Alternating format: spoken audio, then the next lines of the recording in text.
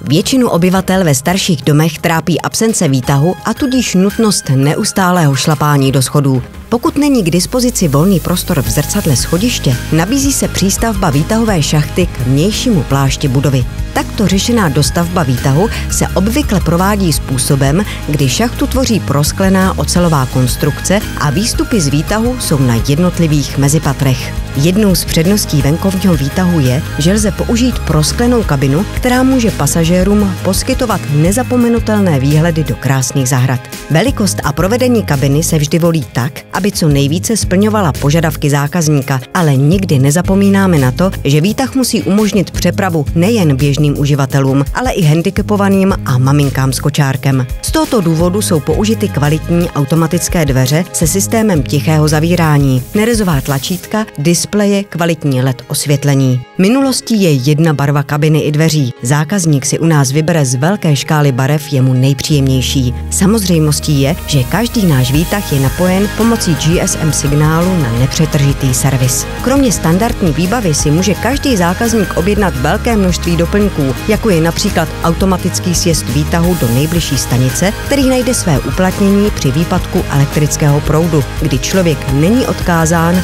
na pomoc zvnějšku. Dále je to kamerový monitoring, požární dveře či další designové prvky.